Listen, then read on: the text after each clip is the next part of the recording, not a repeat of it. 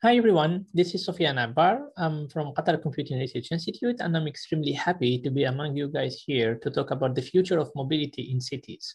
So the, the topics I will try to cover here include artificial intelligence, urban planning and urban computing and big uh, trajectory data. So one of the questions that many people ask is why do we get interested in mobility?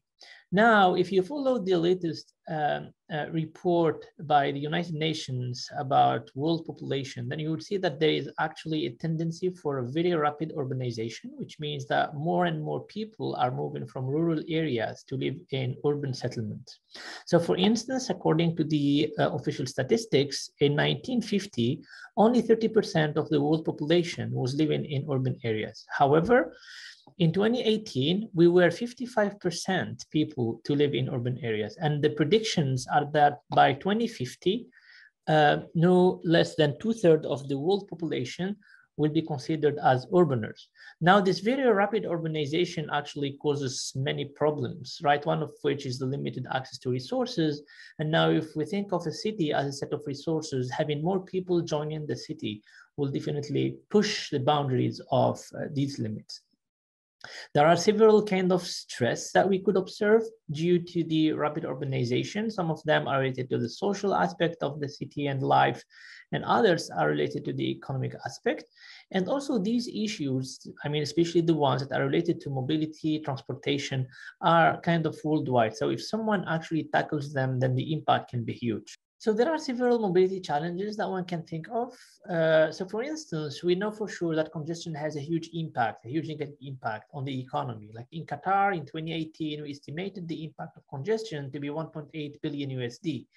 And in the US, uh, this impact is around 87 billion USD. In Qatar, for instance, we observed that an average commuter spent 16 minutes more than uh, he or she should per day.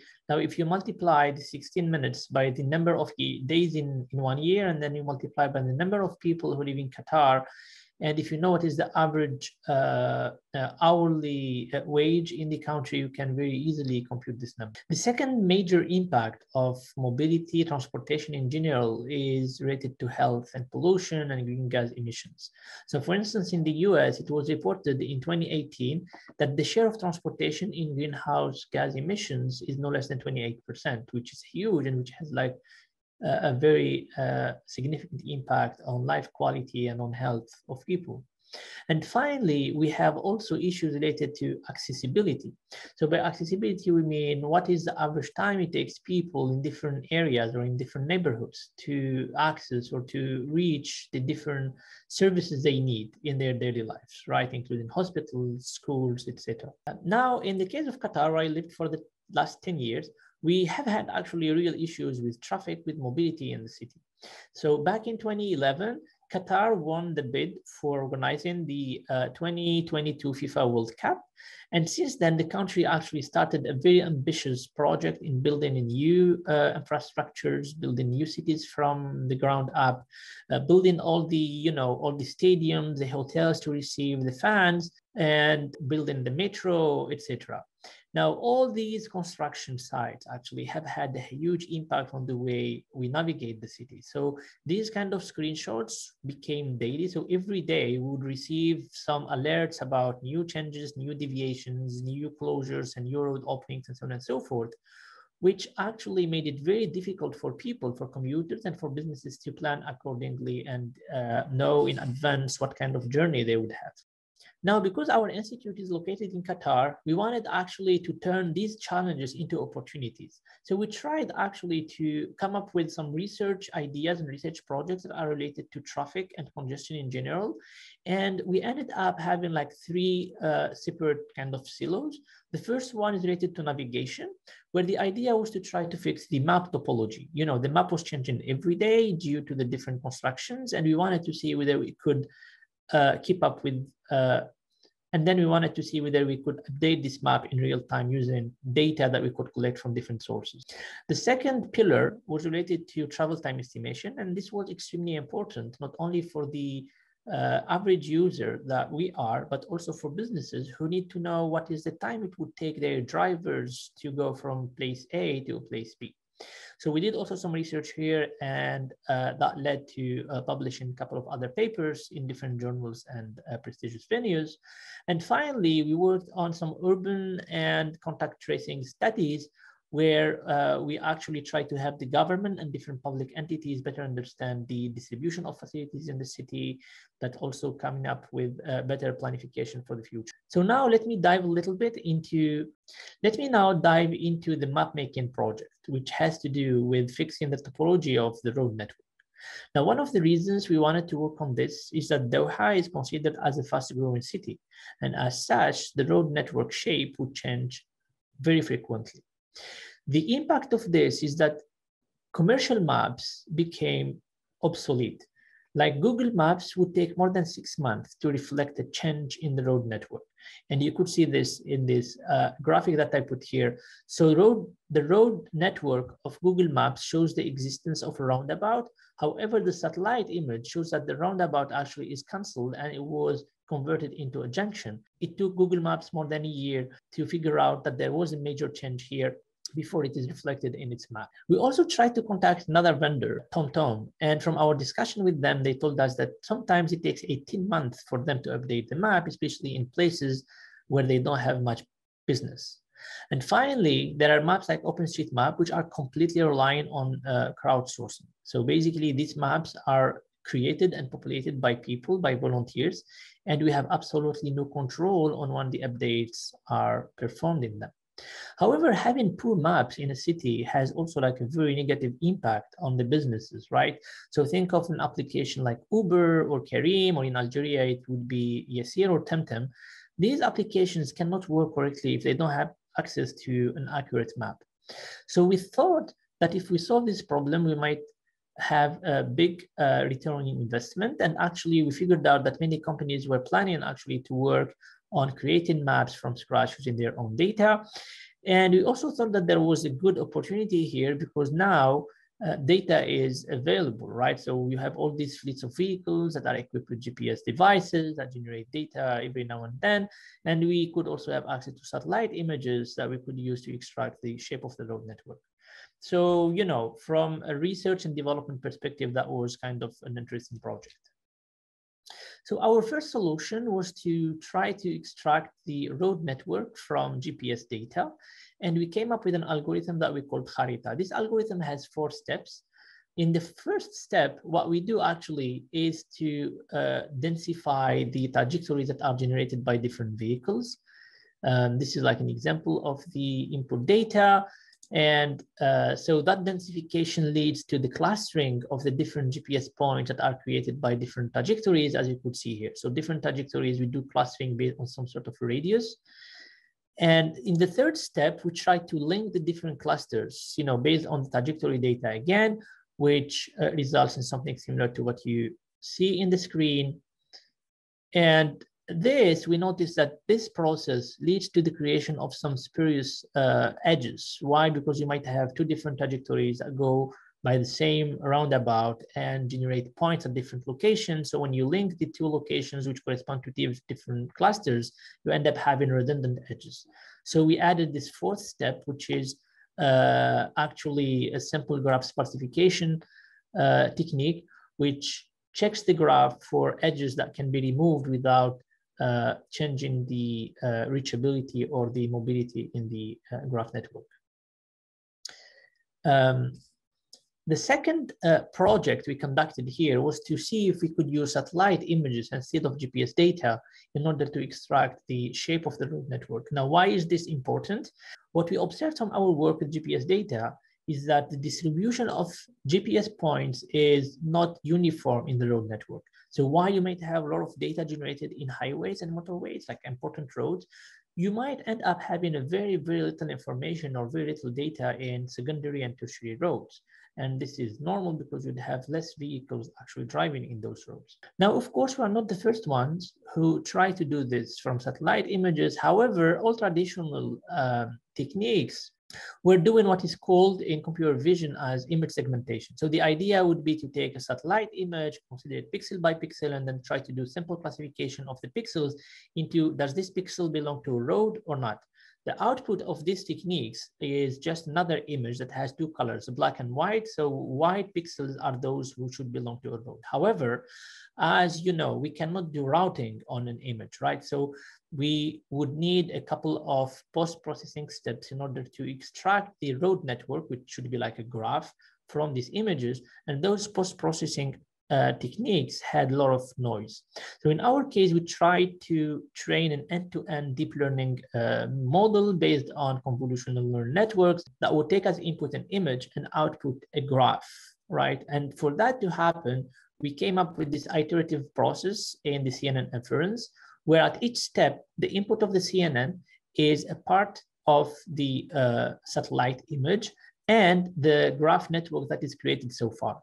And then the output, so the CNN will output two things. The first thing is a decision on whether we should move or that we should stop. So moving means that at this location, at this location, like the blue dot, the CNN thinks that we could still create or add edges to the road network. If the CNN tells us to stop, that means that we reached a uh, dead end. The second thing that the CNN actually outputs is the direction uh, toward which we should be moving. So in this case, we just gave like four different directions and the CNN is saying as if you are at this particular point, you should be moving east with the probability of 0.9, which is very high.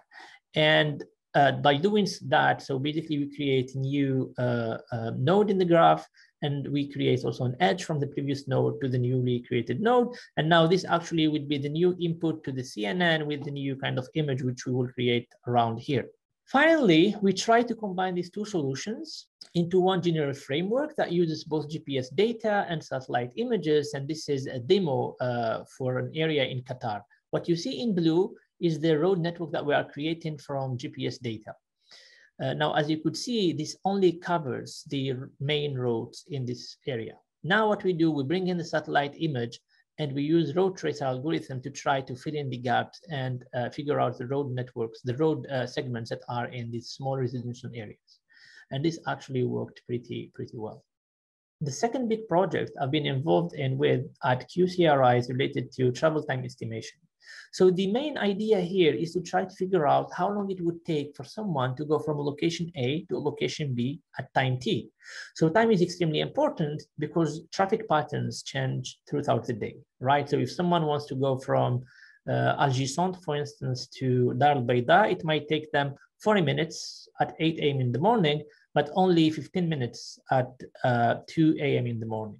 Now, why is this important? If you think of the reasons why people get upset with the existing or commercial map services, uh, these are evolving around two main causes. The first one is that the map might not know the actual topology of the road network. And the second one is uh, that the map provides wrong predictions of the travel time.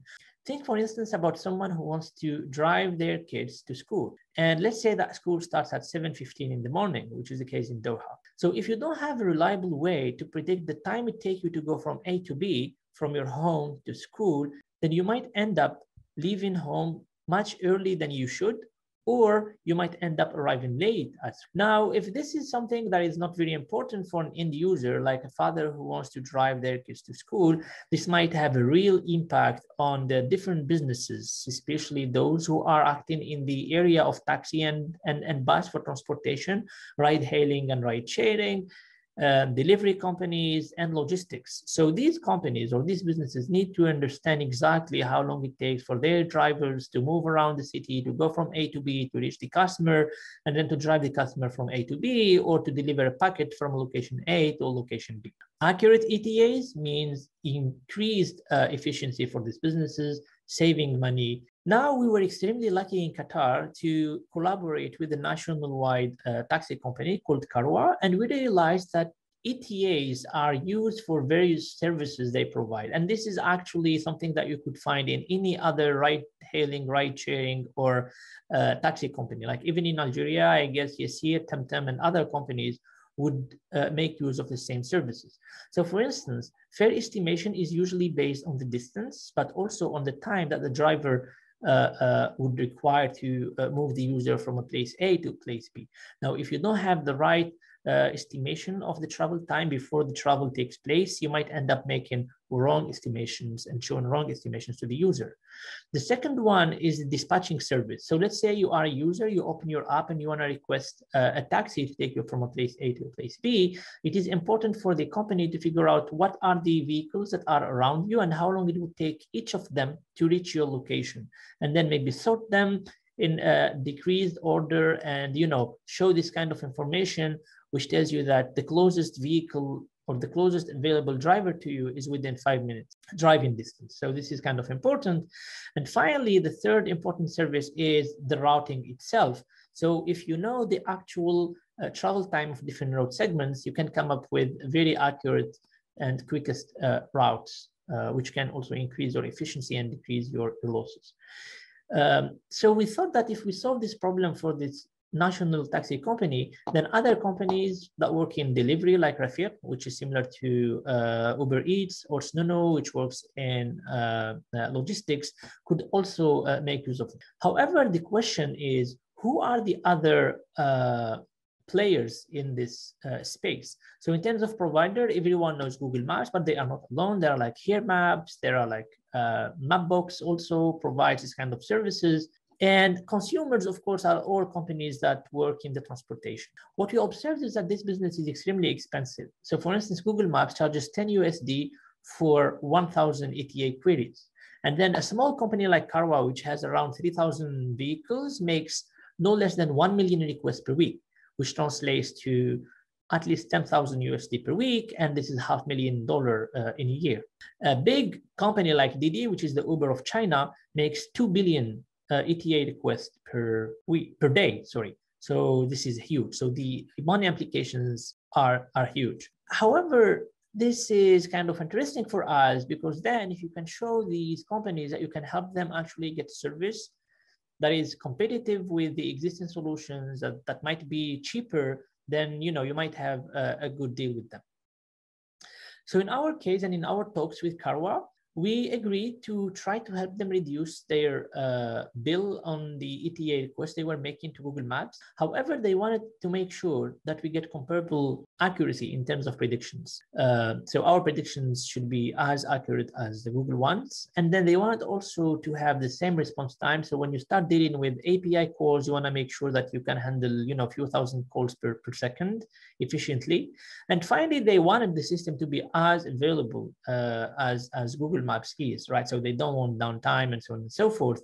Luckily, after a year and a half of work, we could actually come up with a system that I'm trying to demo here, which has the different components that any uh, uh, decent map engine should have. So we had a geocoder, which is able to translate uh, text data into lat longs.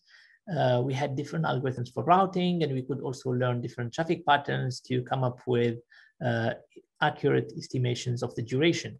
And actually, we could also show that our solution was 4% uh, more accurate than uh, Google uh, solution. However, in order to build the system, we needed three main ingredients. We needed a map. For this, we use OpenStreetMap, which is crowdsourced map. So for the routing engine, we started at the beginning by creating our own uh, uh, shortest path algorithms based on Dijkstra. However, because we wanted the system to be uh, efficient, scalable, and highly available, we turned into the OSRM open source project, which worked just very, very well. Finally, we were extremely lucky in this collaboration to get access to traffic data from our partner Karwa, which helped us actually um, create machine learning models to learn the actual uh, traffic patterns. The first thing you'd like to do when you try to study travel time estimations is to understand the difference between free flow travels and in-traffic travels. Now, if you use a free flow routing engine like OSRM, and you try to plot the average travel time of all trips that happen at a particular hour of the day. Here I have like 24 hours. You end up having a curve similar to the blue one here, where regardless of the hour of the day, the average trip duration is around 21 minutes. However, when you take the actual duration of trips as they happened, you would see actually that there are some sort of patterns. So very early in the morning, between midnight and 4 a.m. in the morning, the two curves look similar, which is fine because there's no traffic in the roads. However, at around 5 a.m. in the morning, we see that the red curve actually starts going considerably or significantly up to reflect the actual morning commute time, right? The congestion that is induced by the uh, morning commute. Then between, you know, 9 and 4 p.m., you have some sort of, you know, the traffic goes a little down, but then it goes up again for the evening commute. So when you deal with ETAs, basically what you try to do is to move this blue line to look closer to the red line. Now, our first solution, STAD, has a very simple intuition.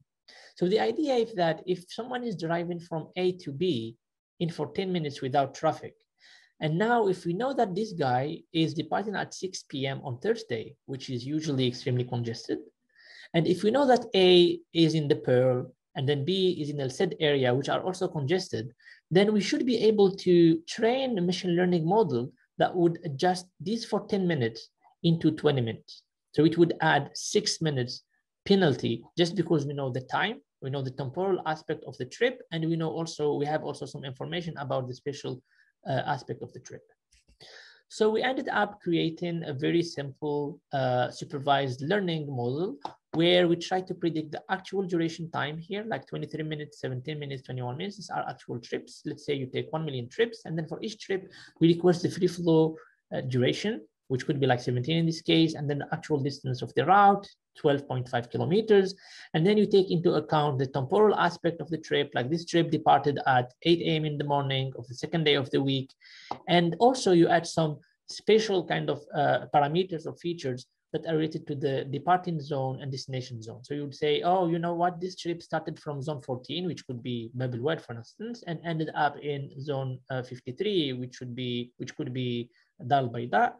And you know, you do this for the 1 million trips that you have that we collected from the uh, uh, taxi company, and you train a model that takes these parameters here in order to predict the actual duration. And this actually worked very well.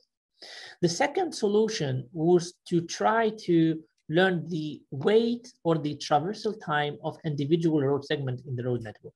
So for this, we devised another kind of machine learning technique where we would try to go from this graph which doesn't have any weight. So we would start with a graph in which we have intersections and then each arrow is nothing but a road segment. And we'll try to learn the uh, traversal time of each individual road segment. So this one takes three minutes, this one takes five minutes, and so on and so forth.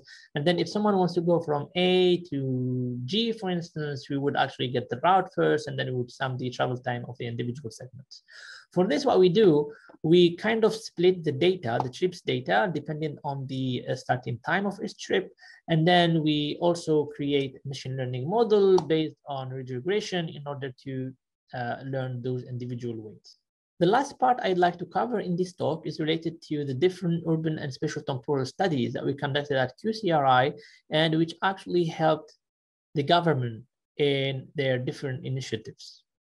So the first uh, initiative I'd like to mention here is our contact tracing application that we named ConTrace. Very early on into the pandemic, around March 2019, we actually created a system called ConTrace, which consumes some mobility data about users and produces different uh, views of this data on the map. So some of these were related to the spatial temporal risk assessment, which allows us actually to identify the uh, hotspots, you know, the contamination hotspots. And this is done by, you know, by analyzing the trajectory data of different patients and by crossing also or joining data of multiple patients you could, for instance, find some restaurants that have been visited by uh, several uh, COVID-19 positive patients. We also have some heat maps that help us understand the places that have been visited by patients before they got tested positive. Finally, we had a system also that helps us retrace the chain of transmissions. So let's say now that you have data of all the patients who have been tested positive in the last three weeks, and you'd like to know whether there were interactions among these patients that might have led to the contamination. So in the system, we will take all the data from all the patients, and then we will try to figure out all the contacts that happened among these patients. So contacts are usually defined by two parameters. The first one is the minimum distance between two patients, and then the stay duration. So you would, for instance, consider that two people have been in contact if they were within five meters from each other for at least uh, five minutes. And then we will take all those contacts and we will sort them by date and then clicking on one of these dates, you could see actually where the contacts happen. Now, if you click on one of these markers, you would see exactly the identifications of the two patients who have met at this very particular location. We were extremely lucky to have worked this platform with the Ministry of Interior and Ministry of Public Health in Qatar, and this was something that was deployed in production in the first two months uh, of the pandemic. The second study I wanted to mention is related to this novel concept of 15-minute cities. So this is something that is driven by Carlos Moreno, who is like a very influential architect and uh, urban planner in France. He's in University of uh, Paris Sorbonne. And he came with this idea of 15 minute cities where everything that a resident needs should be reached within quarter of an hour by foot or by bike. This is, if you think about it, like a revolutionary way to think of mobility. Indeed, a lot of people think that in order to improve the mobility, the state or the city needs to build more roads, more bridges, and have more transportation, more transit and transportation. However, according to Carlos Moreno, he thinks that a city or a neighborhood should be able to fulfill six different social functions. The first one has to do with living. So everyone should be able to live somewhere, but should be also able to work in the same neighborhood or at least within 15 minutes by foot or by bike.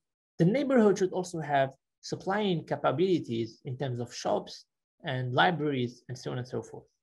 It should also guarantee the existence of caring facilities like hospitals and medical centers, learning facilities like schools, and finally, enjoying facilities like cultural venues, cinemas, and so on and so forth.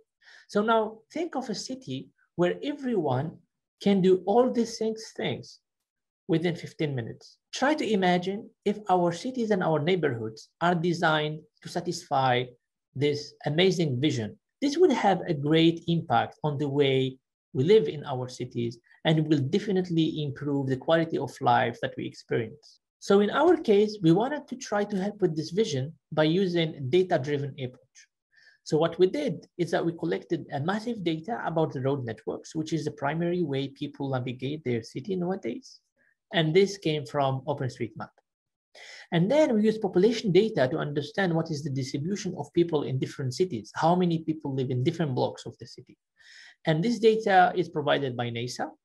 And finally, we needed also to understand the spatial distribution of facilities in the city. Where are the hospitals? Where are the medical centers? Where are the schools? And so on and so forth.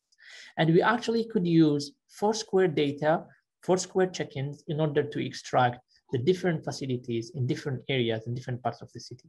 We try to include three cities from the Middle East, which are Doha, Dubai, and Riyadh in Saudi Arabia, and three cities in the United States of America, which are LA, New York City, and Boston.